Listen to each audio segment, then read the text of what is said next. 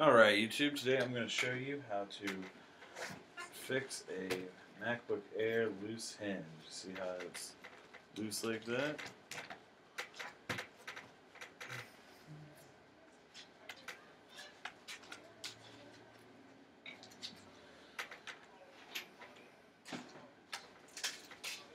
First thing you're going to do is take out the bottom screws here, as I'm currently doing.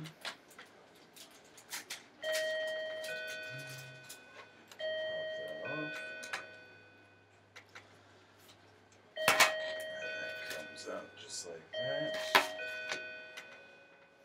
And then there's two screws there that you're going to want to take out.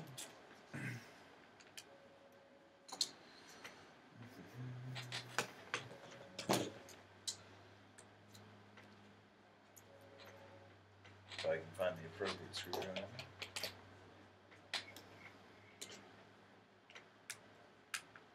There we go.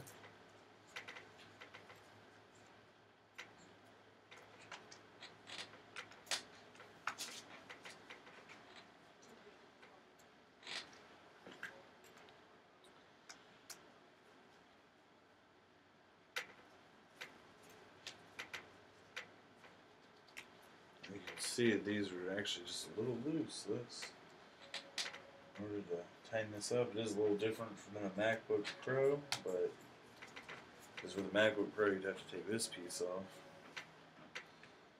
Just tighten those down all the way.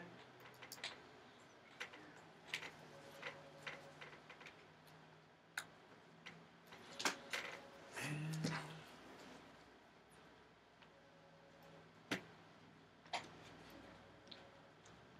Go. See how it's, it's not loose anymore. That's all you gotta do. You just put the screws back in and you're good to go.